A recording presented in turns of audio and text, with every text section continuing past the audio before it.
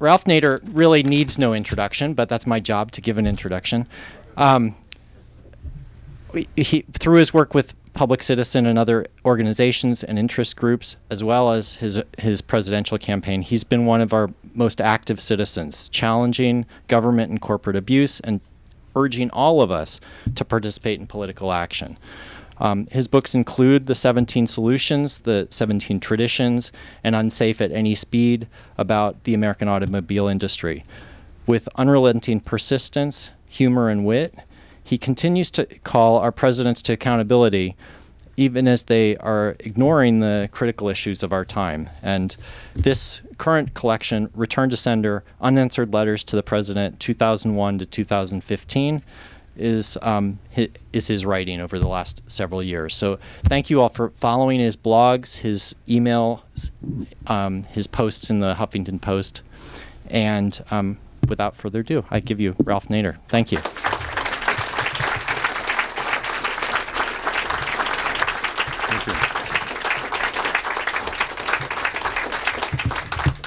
Thank you very much, uh, Andrew. Uh, can you all hear me in the back? Okay, thank you for being here.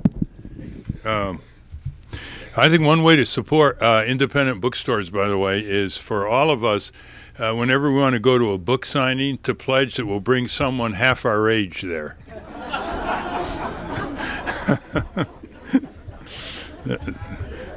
Uh, one of the things they don't teach us in elementary school and high school is how easy it is uh, to turn the country around on major issues, assuming that it represents majority opinion. And even though we can quote uh, Abraham Lincoln, who said, with public sentiment, you can achieve anything, and without it, you can't achieve much of anything at all, uh, we still convey to young people uh, that it's really impossible. You know, you can't fight City Hall and can't take on ExxonMobil.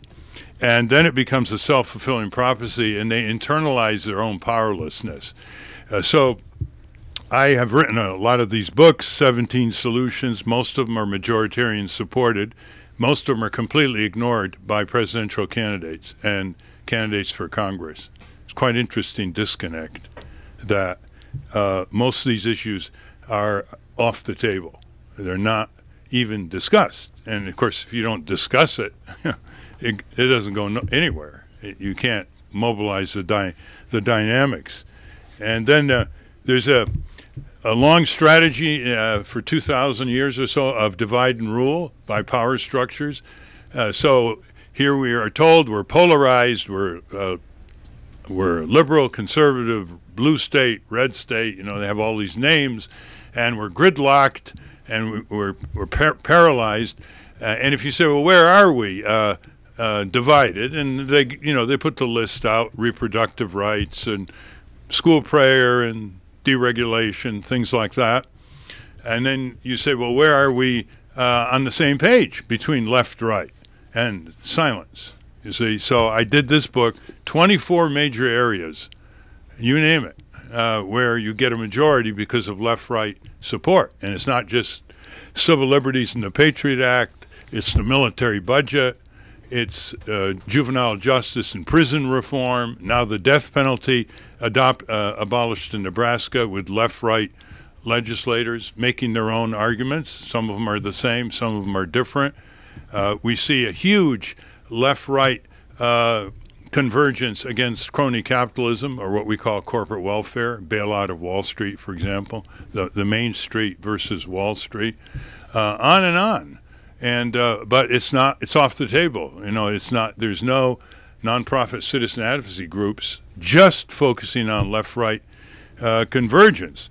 So you see, you get a lot of demoralization around the country. People get discouraged, and they can do one of two things. They can get upset and roar back, or the majority uh, get cynical, uh, think they're intellectually smart by being cynical. You know, pox on all their houses, they're all crooks. You know, two easy ways to go through life. One is to believe everything, and one is to believe nothing. Right? So you don't have to think either way, and then they withdraw.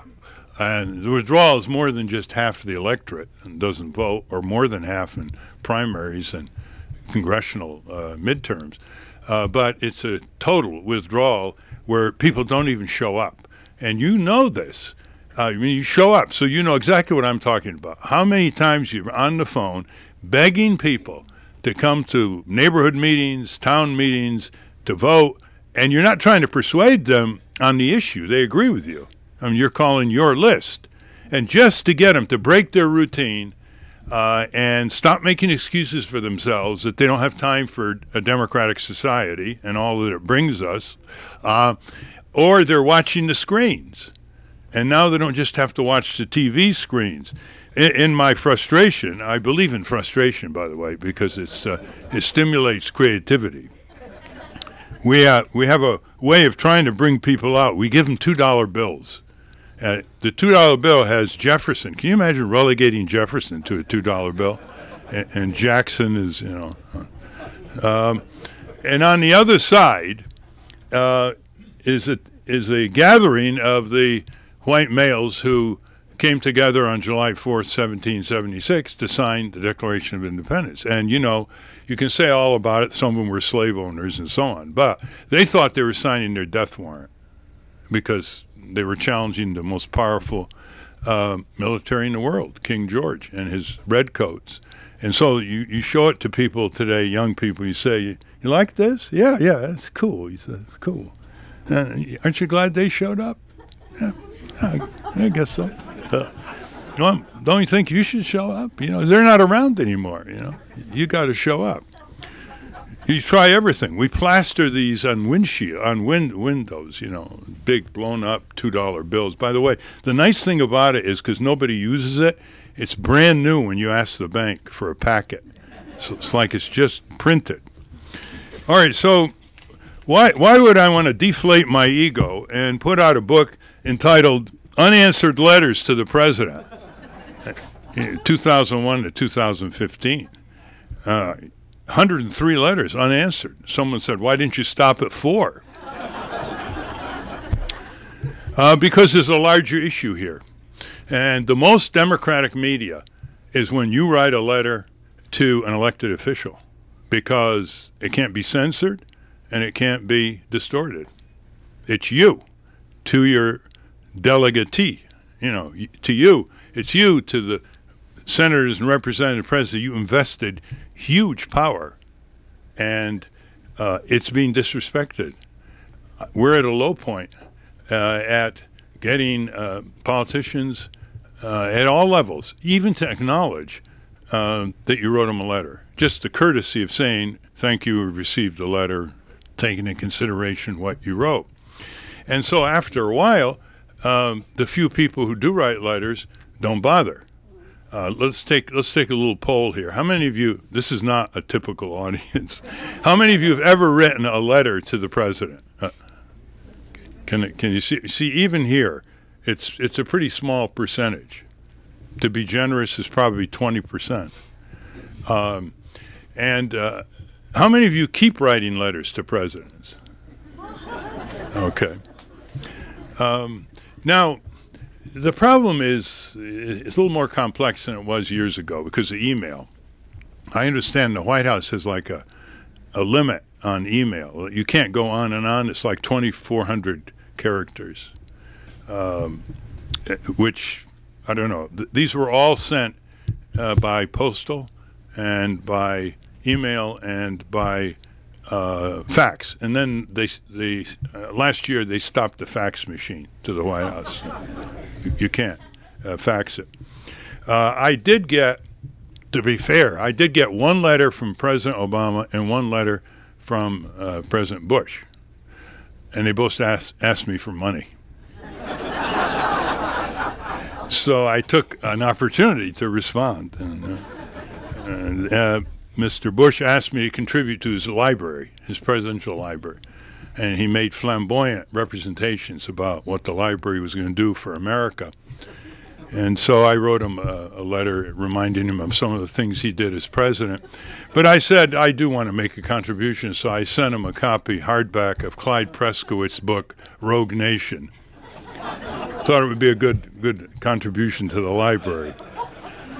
Uh, so the uh, the the idea here is one, the letters are very substantive, and they're on almost everything you could be concerned about, probably uh, domestic, international. And th- they're designed to do one of four things to tell the president what I thought he should do, to tell the president what I thought he shouldn't do or continue doing, to tell the president something going on in his government that he might not know about, and to tell the president what people are doing around the country that he might not know about. And that's, I think, our responsibility uh, to do that. Now, when President Obama was president elect, he talked about a bubble in the White House, and he was going to he was going to break the bubble, and he did not want to have a bubble in the White House. So he announced that he was going to be given ten letters to read at night, and just before he goes to bed, and be selected by his uh, correspondence chief. So I got a hold of the correspondence chief, trying to elbow in here, and and uh, uh, this was three months into his administration, and I said, uh, uh, "What is your policy on correspondence?" I mean, all kinds of different letters. You know, there are the vituperative six six word letter. Uh, there's the thoughtful letter. There's a letter from a contributor.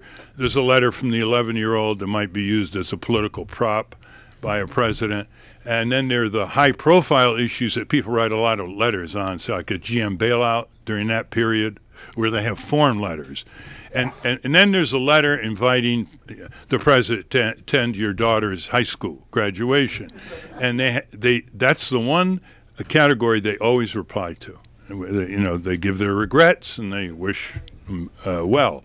Now, there are large numbers of volunteers who go to the White House every day. They're cleared and they separate the letters into these categories. Apparently, they get about a half a million letters uh, a uh, a week, and uh, in Canada, you can write to your member of parliament free. You don't need a stamp. So there's a uh, a, a two-way franking privilege, but but not here. But so that's a lot of letters. But you know, it, people who get a lot of letters know that a lot of letters are some of them are just burps, burps of rage or in, incomprehensible uh, uh, sequences, and so they don't spend much time on those. But they do categorize them, so you get some sense that they're they're receiving them. Uh, but you never know if you don't fall in the category of the high school graduation or a high profile issue. For example, I wrote a substantive letter on the GM bailout, and I got a form letter that had the uh, it was like this, you know. It, it didn't it didn't reply to my letter. It was just a form letter. It was funny the way it uh, assumed that I had said something which I, I didn't say uh, in the letter. Uh, so as these uh, developed, I began to see other values to letters because if you write a le- it, let's say you're concerned about a public issue, okay, um, but if you write a letter on it, it commits you more it commits you more. I mean, you go to the next step, which is good. So you push yourself to the next step. If you've got a civic sensitivity and you get ignored, it makes you angry, which is good. It's get you know you become morally indignant or whatever, which is a, a motivation. Uh, and if you do that with children at a young age, for, for example, there's a flurry of letters from 10 year olds to President Bush. Uh, and the letters basically said, we do want to ask you just one question. Uh, the Iraq and Afghan wars are costing 100 billion or whatever, uh, so many months. And uh, our question is simple, simply, why don't you pay for it? Why are you making us pay for it in the next generation? Because there was no taxation for the wars, uh, these wars. They were put on a credit card. You know, I think that might have made an impact if they were each released to the press, even if just one. Sometimes it flares and press grabs it. Now, the press has some responsibility here because years ago, we would write letters to Senator Magnuson uh, asking him for a hearing on some consumer environmental worker issue or uh, and uh, the Post would pick it up, or the Times would pick it up. I remember once I, I wrote a letter on uh, what, what I called white lung, white lung disease, which is uh, the analog to coal miners' black lung disease by textile workers. They would breathe in the tiny fibers uh, from the dust, the cotton dust, in the carding rooms, North Carolina, South Carolina. And the Post wrote it like it was a major piece because it had new material in it. And uh, th- that doesn't happen anymore. Uh, some of us remember that scientists at MIT and Harvard would collectively write a president urging uh, uh, faster movement toward nuclear arms control. And that would be uh, considered news. Uh, the press now and the White House press, they just have no interest whatsoever uh, in diversifying their boredom as they go up to the White House every every day. So that's another blockage. So I, I decided I needed some comparative information. So I, I wrote, I wanted to do this anyway, but it had an ancillary effect. I wrote two critical letters to Prime Minister Harper of Canada. They were really critical. And um, I got back a nice um, recognition of the letter. They acknowledged receipt by the chief of correspondence. Um, and uh, they said, uh, We've absorbed your message and we're referring it to the respective ministry. Now, you know, who knows what, uh, how much they absorbed or wanted to absorb, but at least you know it got there. And you, you know somebody read it, even if they may not have liked to read it. The second time I did this, I released it to the media, and it made CBC News as well as a major radio program in Toronto. So while Canada is, is unfortunately being dragged down by its mimicking of the U.S. under conservative uh, governments, there is still uh, lessons to be learned from Canada as well as, as, as other countries, where you don't get even an acknowledgement anymore, uh, which raises the question of courtesy. I, am trying to get Judith Martin, who's Miss Manners uh, to do a, an article on this. You might want to email her and ask her. It's a bit of a stretch conceptually from some of the things she's written because it isn't that a personal affront, you know, at uh, some restaurant with bees flying around or something. So uh, now, the other thing that was quite uh, serious is on the eve of the Iraq War. Um, we totaled up about 300 retired generals, admirals, colonels, uh, diplomats, uh, national security people, people like uh, uh, four-star general, head of the NSA, formerly head of the NSA, Howard Odom, General Anthony Zinni, uh, Marine General retired, Admiral Shanahan, head of the Pacific Fleet, retired, the two major security advisors to George Herbert Walker Bush, Bush, John, uh, Jim Baker, and Brent Scowcroft, they all did what almost has never been done as uh, the U.S. beats the drums to its wars. Uh, they they spoke against it. Uh, they wrote op-eds. Some of you may remember they uh, they really uh, stood tall. And then you know nothing happened uh, because they didn't have an infrastructure, they didn't have a secretariat, and they went back home uh, and they couldn't multiply their numbers. And you remember at that time, the media was really a patsy on this. And, you, you know, you had poor Ted Koppel, you put the helmet on and went in with the tanks. I mean, when, when you look back on it, they've got to be embarrassed, including the New York Times and what they did, the phony articles on weapons of mass destru- destruction. And so we, we tried one last move with a letter. We sent a letter uh, to George uh, W. Bush's mother and his father and his wife. And basically said, You got to control this boy. you know? And, uh, and that's in here. And, and one of the things that prompted us to do this was that in the prior three months, four months maybe, about a dozen groups with millions of members uh, begged to see Bush in the White House because some of them had been to Iraq. They didn't agree with the scenario that was coming out of the White House. And it was uh, an amazing situation where they, they these were veteran a veteran group, a business group, a retired intelligence officials group, the National Council of Churches, a women's peace group, a student group, even a labor group. and they never even got acknowledged. These these people had millions of members out there, never got acknowledged. Never mind, uh, come on in, let's hear your point of view.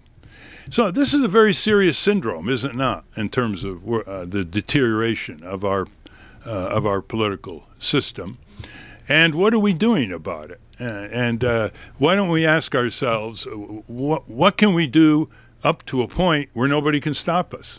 What is it that we can do that nobody can stop us from doing? And to take a baseball analogy, no one can really stop us from getting at least to second base. No one can stop us mobilizing ourselves and marching and uh, starting groups. You have someone like George Soros, who is dead set against the Iraq War.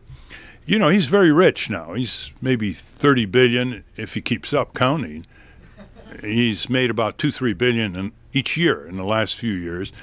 And he probably didn't think of it, but I, I couldn't get my uh, message returned from him. But if he set up a, a secretariat for these 300 retired uh, military, diplomatic, and national security, uh, he staffed them, in other words, and he mediated. He provided, gave them media, and uh, put the heat on Capitol Hill for hearings to expose the, the lies and the deceptions uh, for a few tens of millions of dollars, it would have turned the tide. Because, first of all, they would have tripled their number almost immediately from 300 to 1,000. And who's going to be able to stand up against these people? Are they going to question their patriotism? Are they going to question their experience? Are they going to question their bona fides? These retired former uh, high officials of Republican Democrat. Uh, it was just a, and then the next year he spent millions of dollars trying to uh, help uh, marches and rallies and so on, but it, w- it was too late. Uh, so th- always ask ourselves are we making excuses for ourselves? Why don't we talk to our friends and neighbors serious talk in the middle of all the small talk? Um, you know, how many times people come up to you and say, uh, How are you? And, and, you know, no matter how you are, you say, Okay, I'm feeling okay. How are you? Okay. What a waste of salutations. I mean, just think what you can say. You can say, uh, or you, someone comes up and says, uh, "How's business?" or uh, "How's your love life?" or uh, "How's the family?" And you come up and say instead, "How's your civic life?" You know, "How's my civic life?" You know, well, it starts a conversation, doesn't it? Right? But we're inhibited. We are enormously restrained from the kind of dialogue that our forebears had during the committees on correspondence, the farmers in, in Massachusetts in 1774, shame us. There's a book written on this called The, Fir- the First American Revolution. And it wasn't Lexington and Concord and Boston. They got all the credit. Uh, it was 1774 when King George ordered the replacement of their court officials, their sheriffs, and their town officials with Tories and the farmers uh, organized at levels and self restraint. They didn't use violence. Uh, that is a, a, great lesson today. Um, uh, for example, in towns like Worcester and uh, Springfield, uh, one thing they did when they, the, their court officials were replaced and the sheriff is they stopped using the courts. They boycotted the courts and they would surround with 500 to 1,000 farmers. They would surround the house of the Tory, and they would say, "We want you to recant," and they would just stand there silently. And this Tory's looking out to see of farmers, you know, and they're not going away. And uh, and uh, when they did recant, they made them repeat like five times. Come out, they'd have a path, and they would recant. Or if they didn't recant, they'd flee to Boston, where there's a red coat garrison. The, di- the discipline and how they decided on a rotating spokespeople uh, basis and so on. At one point, they had 5,000 people show up. This is, you know, when Massachusetts was small population. Uh, and so I, I think we, uh, we've got to stop making excuses for ourselves. And we've got to join the existing groups we believe in who want more su- supporters, want people more engaged, more advocates, or start our own groups. Uh, there's a little book uh, that came out in 1941 by the former head of the Tennessee Valley Authority, and when he retired, he's trying to figure out how do how do things change for the better. What's the ignition? Uh, wh- wh- what works? So he goes all over the world trying to learn. He goes to India. He goes to uh, Europe and, and South America, and he comes back and he writes a book called The Small Community. And his conclusion was everything big starts with very small civic energies. And now we know that, but he wrote a very nice book elaborating that, uh, which should be reissued.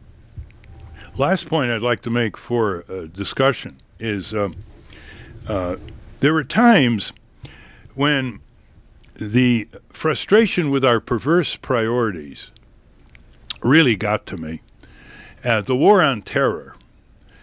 So the war on terror has now cost us trillions of dollars, thousands of lives here, millions of casualties over there, the socio side of these countries, and has uh, resulted in a, a more monetized political system than can be imagined. It's enormously strengthened giant corporations, and it's chilled dissent, which is the mother of assent, right? I mean, when you chill dissent, it's not just a mere inconvenience. Uh, even chilling the dissent of the opposing party. And so I, uh, I've been involved a lot in uh, non anthropomorphic preventable violence, otherwise known as viruses, bacteria, uh, silent violence of corporate crime, pollution, toxics, defective products. You know, they don't come with an anthropomorphic image.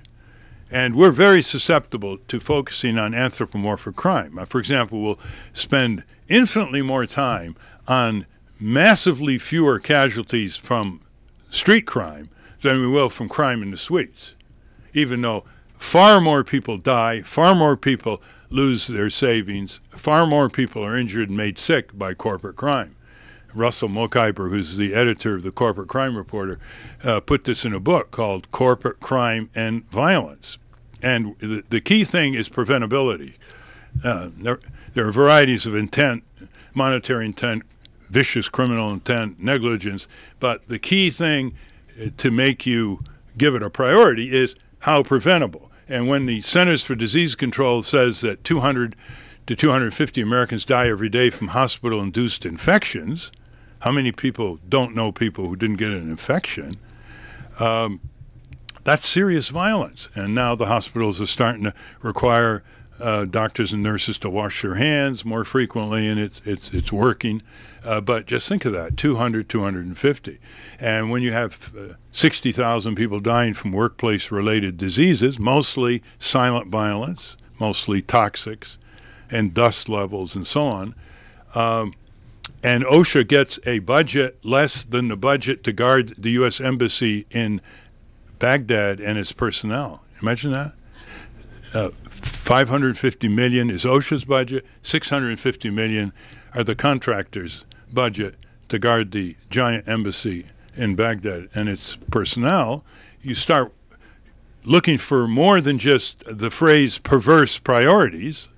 Uh, and again and again, you see very little money, very little law enforcement is applied to corporate sourced violence, whether it's occupational disease, whether it's product defects, whether it's medical malpractice, hospital infections, uh, whether it's denial of health insurance and people die when they can't get health insurance to diagnose, get money to have doctors to diagnose their treatment and, and treat it. Uh, by the way, before Obamacare, it's down a little now. 45,000 Americans die every year because they can't afford health insurance to get diagnosed and treated in time. That's a peer reviewed Harvard Medical School study that appeared in the Journal of Public Health, 2009, December, if you're interested. Just imagine, compare that with 9 11, just in terms of casualty levels. And that's just one sector.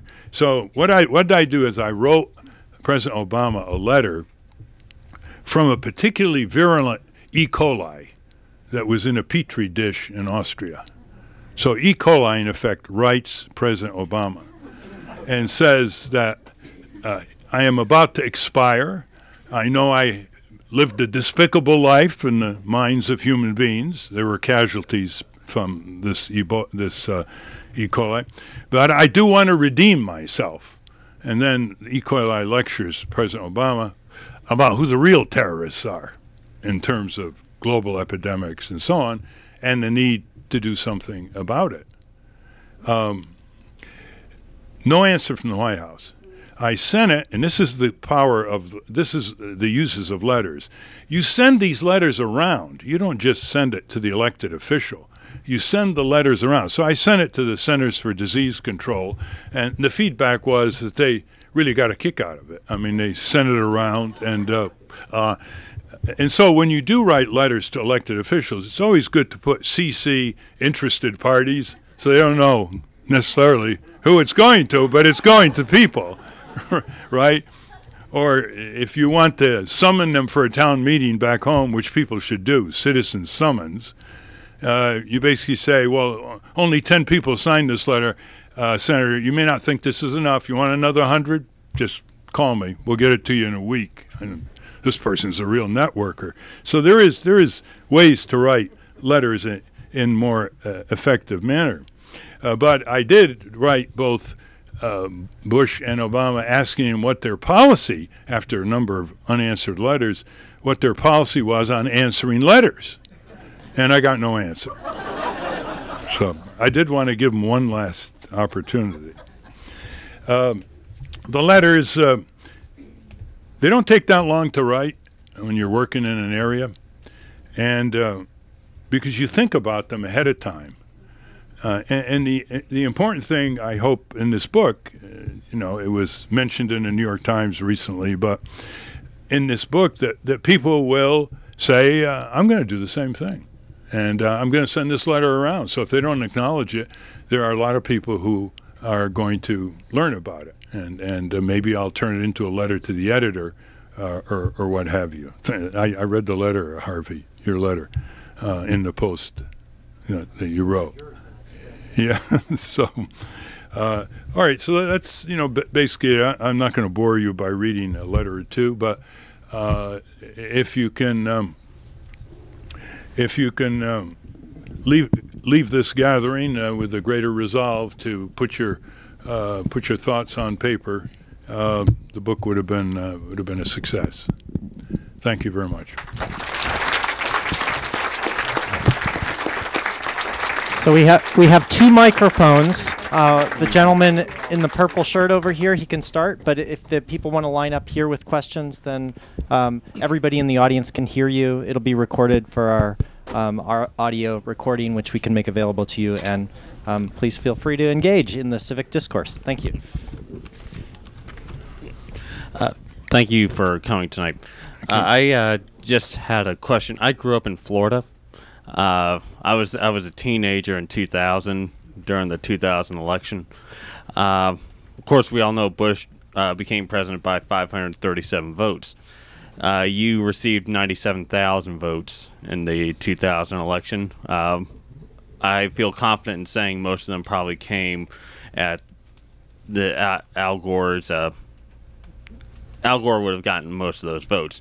Uh, do you have any regrets 15 years out uh, for, uh, in effect, putting uh, George W. Bush in the White House. See, see, this is this is what destroys liberal politics in America. First of all, he's factually wrong, and uh, if you ever took a statistics course, you would flunk it, because you want me to give you ten sine qua nons, any one of which would have put Gore in the White House. Let's start with winning the popular vote. Have you spoken out against the Electoral College lately, where you can come in second and win the presidency. Okay. Now let's start with uh, let's start with 250,000 Democrats who voted for Bush in Florida. Let's start with Kathleen Harris, Jeb Bush, who stole the election in so many ways. Let's start with the 5 4 decision uh, by the Supreme Court blocking the Florida Supreme Court uh, decision to have a full recount, which would have turned differently. Let's start with Gore losing his home state of Tennessee alone would have put him in the White House. Losing Arkansas with Clinton alone would have put him in the White House. Uh, let's start with these. Why do you pick on the Green Party and my campaign? Because the Democrats, first of all, they don't understand the dynamics of campaign. Whenever there's a third party challenger, assuming it isn't as big as Perot, you know, 19 million votes, we were chicken feed in, in terms of responding to it.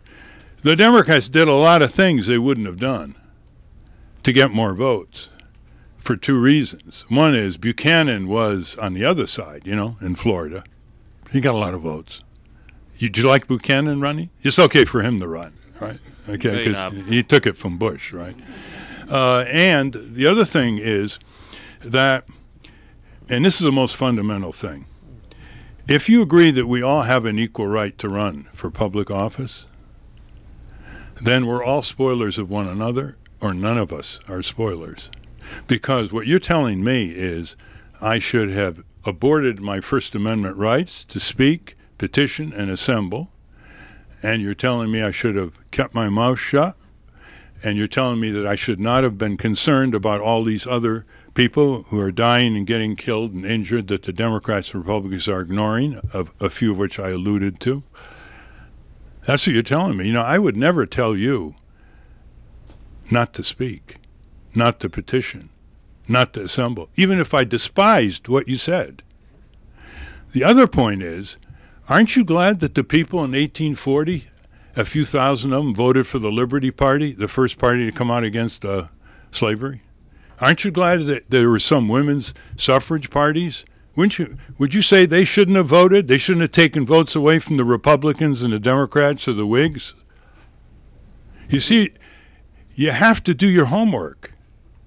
The fundamental mistake you made is basically to say that even though the Democrats aren't all that great, the Republicans are worse, Therefore, we should let them both become worse every four years under the pull of the corporations and shut up.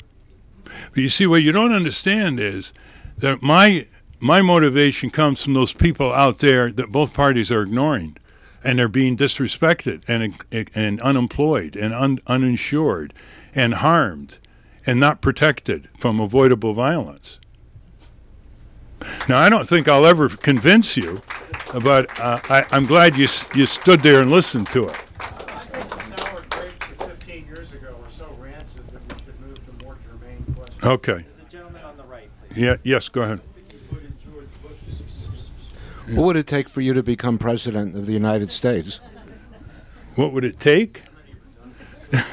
it would take enough people, wh- whether it's me or some other progressive, it would take enough people to take control of a major party at the precinct level back home, the way the Tea Party has influenced the Republican Party. So you start where you they can't really stop you. They can stop you at, at more advanced levels if you intersect at that level, like ballot access obstacles. But every the two major parties have these little town committees, you see, and that's where you, sh- you should start. And, and and the right wing understands that far better than liberals. On the left. Okay. Ralphie, I would like you to come to bat for just about um, every kind of issue except, say, uh, Bryce Harper coming to bat for the uh, Washington Nationals. Lately, Yeah, lately. but my question to you has to do with Hillary Clinton running for president. She doesn't seem to have much competition from any other women. And I don't like the idea of having to vote for her because she's the only woman running. It's like endorsing a dictator. You know, the dictator is the only person that's going to get voted for. So if the dictator gets a lot of votes, so what? Uh, where is the competition? Are there some other women that, uh, to me, would be more attractive? well, I mean, we shouldn't think that way anymore. You know, the uh, the, the the coronation syndrome or the dynasty of Bush and Clinton, Clinton and Bush. Uh, demeans the talent pool in this country. I mean, imagine we're over 300 million people with all kinds of capable people whose names we don't know because we're a celebrity culture, and we're down to a handful. Uh, so I, I would go beyond just the business of being a woman, uh, being the first president. Uh, far more important is to get the right president, and, and uh, uh, that's that's what's really at stake. I mean, I think Hillary is not the Hillary of when she was 30 years old. She made peace with the power structure, and she is a um, a deep corporatist and a deep militarist. I mean, uh, one can almost forgive the corporatism. She moved to New York with Bill to, because that's where the power is in Wall Street. But his her militarism is absolutely shocking, and I mean, she almost single-handedly. Um, uh, did the Libyan war. I mean, the uh, Defense Department uh, was against it, Gates, and she persuaded the White House uh, that it was an easy topple uh, without knowing in a tribal society with nothing uh, to replace it, you would have civil war, sectarian killing spilling into Africa, weapons everywhere, Mali, Central Africa. and she's be, being she's being accused of Benghazi. You know the, the, that the big thing is the huge amount of geography now has been destabilized, and because of the Libyan overthrow. Uh, so she's and when she was on the Senate Armed Services Committee, she never met a weapon system she didn't like. She's, you see, this is the problem of women trying to overcompensate and becoming more aggressive and macho, so they're not accused of being soft on the need to kill, war, right? Instead of taking the tradition of women of peace and be, turn it into a muscular waging of peace and conflict prevention. Uh, she did the, reverse, and Albright did the reverse, and Anne Marie Slaughter did the reverse, and uh, you know, it's, it's, and, and some of Obama's advisors did the worst. We have to be transcendent on this. We have to really go right to the core what people are standing for, fighting for, and fighting against. Now, O'Malley's going to announce in four or five days uh, you'll have Chafee, former governor of uh, Rhode Island. He'll go in. Uh, probably former Senator Jim Webb. But unlike the Republican counterparts, they don't have billionaire patrons. Like 12 Republicans have, you know, literally, uh, they all have their patron now. And uh, so I don't know how long they're going to last. And of course, there's Bernie Sanders, who uh, made a good speech, I hear, just now in, in Vermont. Uh, so we'll see. A lot of it is the absurdity of shaping the candidacies uh, through Iowa and New Hampshire. I mean, you start with uh, conservative states. I mean, what if they started with Massachusetts and California, for example? It would be different. Uh, and Iowa is just a caucus. It's how many buses you can, you know, bring in and how good the food is. You know. Uh, the, the, whole thing is, uh, you know, I had a, a, publisher, a publisher of Unsafe at Any Speed, uh, Richard Grossman, is a great man, and uh, he, he once developed this phrase. You know, I, I, said, you know, satire is what we need in this country, right? He said, how, he says, no. He says, the the big problem is how do you satire satire?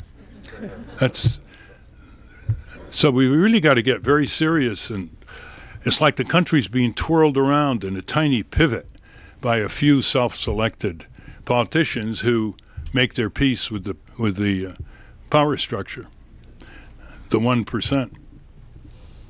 Yes. On the right. Yeah. Um, two questions. Uh, the first question uh, pertaining to your book. Um, um, I do not know if you know anything about. Um, obviously, people have been sending uh, letters to the president for, from the very beginning. Okay, what you are confronting here is a non-response.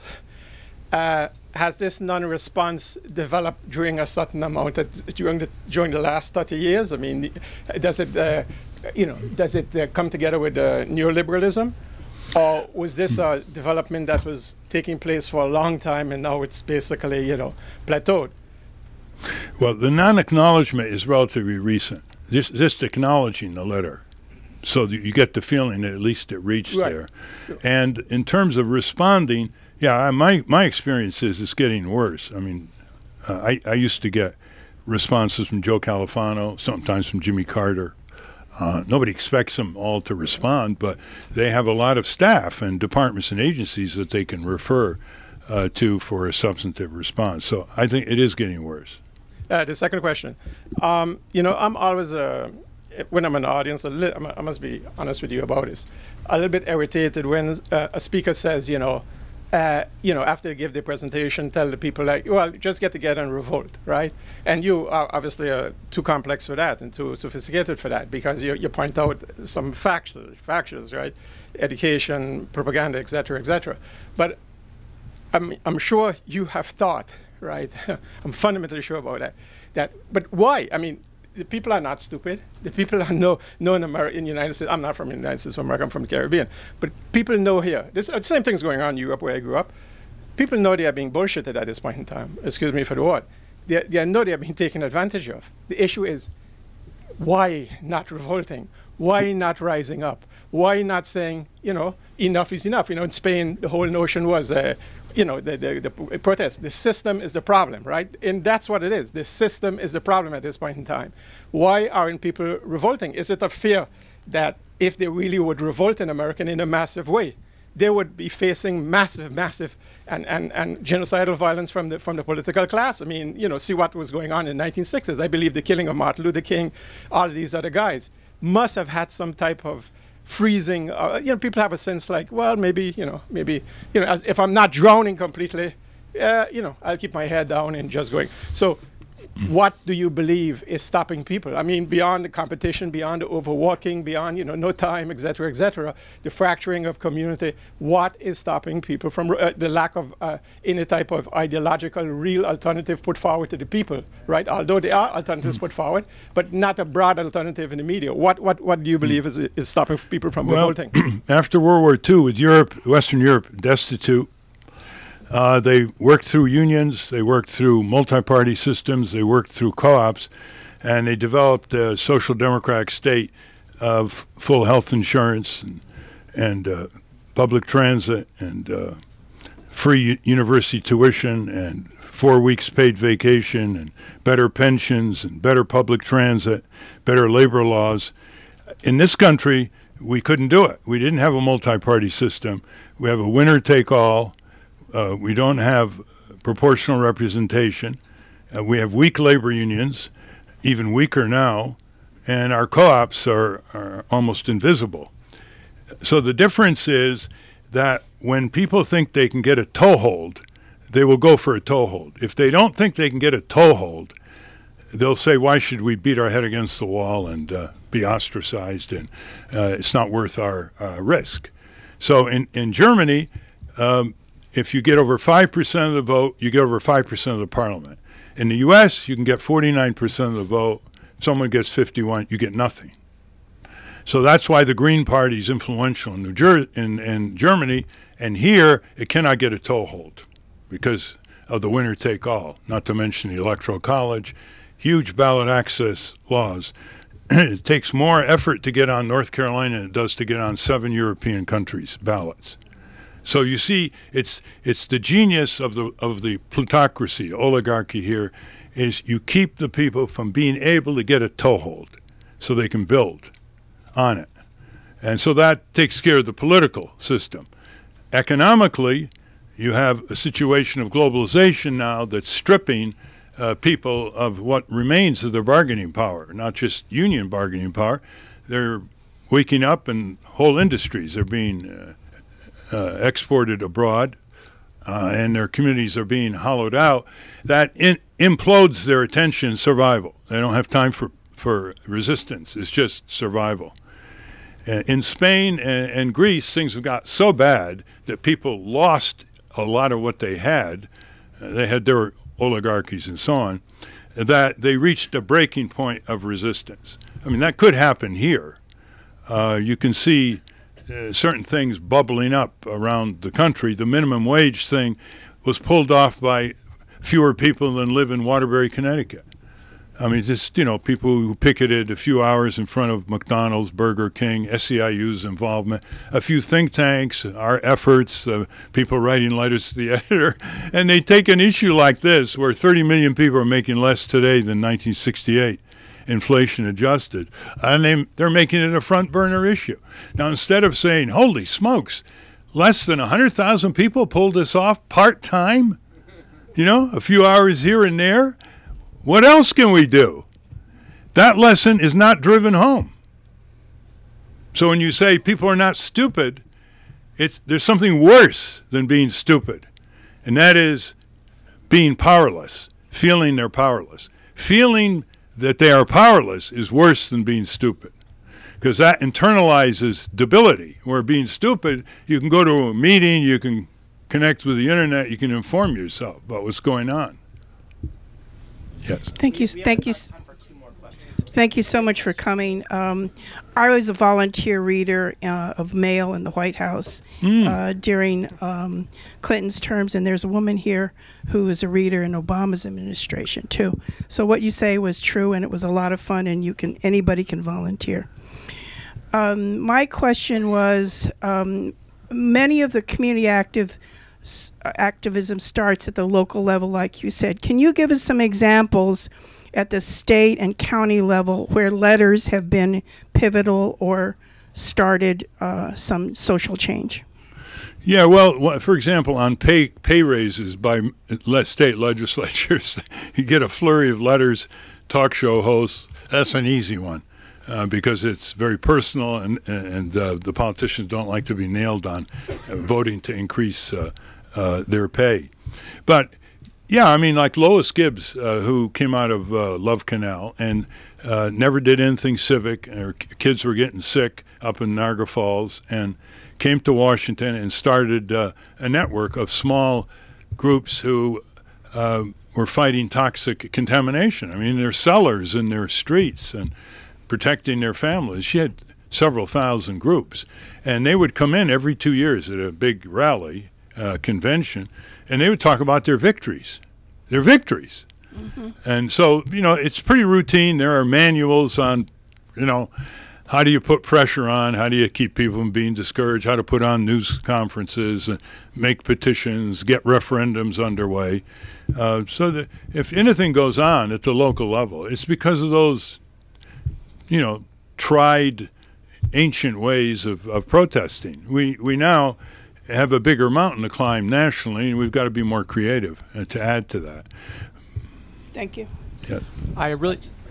I really enjoyed your book. Um, Only the super rich can save us, and I know you've spoken with Ted Turner since then. But I was wondering if you've spoken to any other billionaires and if that book's impacted them at all. Yeah, I, I, I- I had breakfast with Warren Buffett. He liked it. And uh, uh, Peter Lewis, uh, Progressive Insurance, he was my classmate. Um, we actually had a debate. Uh, we shouldn't have been a debate, but it turned into a debate uh, sponsored by the New York Public Library. It's online with Ted Turner, Peter Lewis, and, uh, and me. A, a number of others uh, acknowledged it. Uh, you know, the, the rich aren't all that different from us in their inability to make social change that you would like. Uh, one of them told me, you know, Ralph, we all know how to make a lot of money, but none of us has a clue what to do with it. Uh, um, and and uh, unfortunately, um, I didn't say, well, I can give you some ideas. it was on the phone. uh, I think, seriously, there should be a conference of uh, the tiny fraction of billionaires that are really enlightened and get it, or mega, mega millionaires. Uh, just round the table, a couple days, with people who know what, what it takes uh, to get things changed. And one of the things it takes is money. Uh, it took money from rich Bostonians to fund uh, the abolition movement, uh, money for the women's suffrage movement, uh, all the way down. You know, we don't like to acknowledge it, but it's true. The Curry and Stern families were the early funders of the latest civil rights wave that started in the 50s.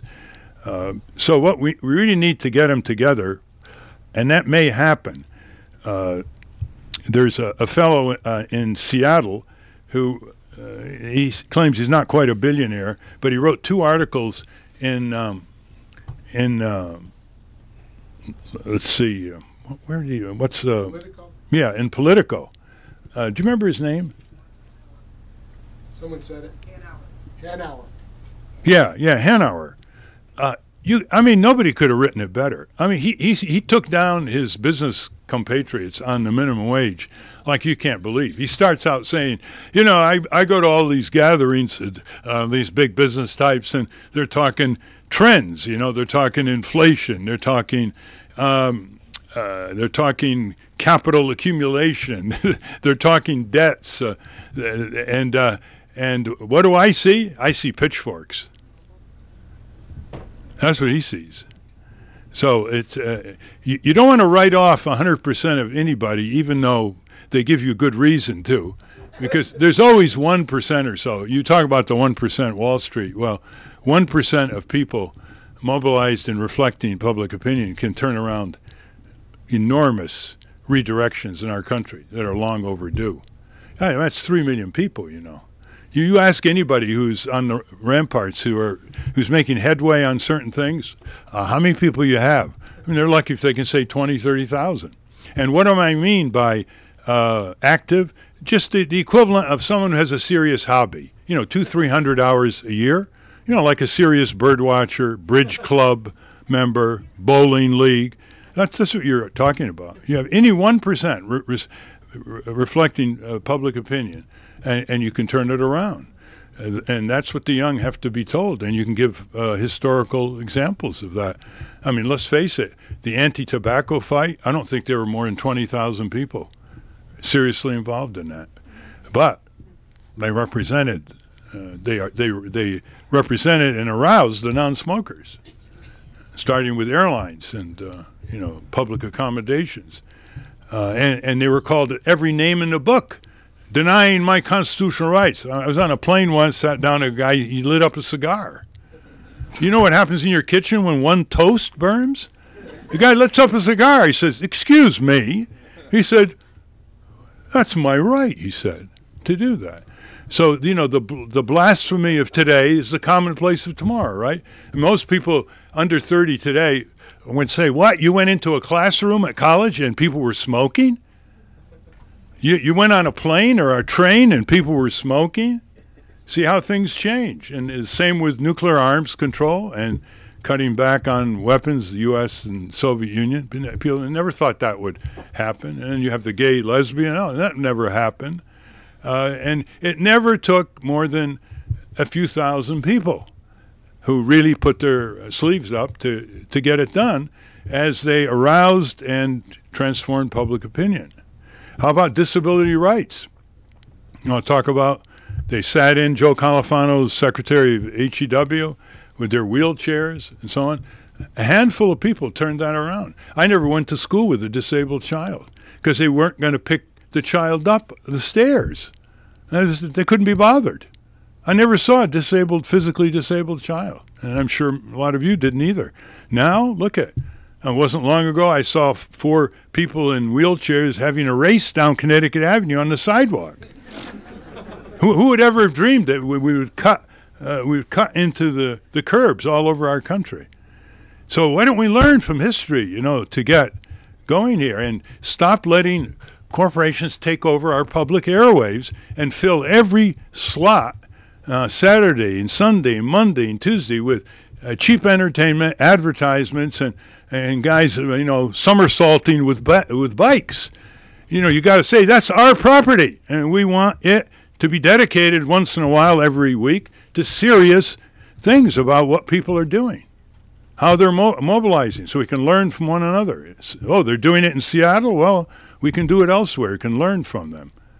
Upping expectation levels is the first dynamic for democratic change because if you have low expectation levels of your politicians, they will oblige you. so you got to up the expectation level. Do I have one more?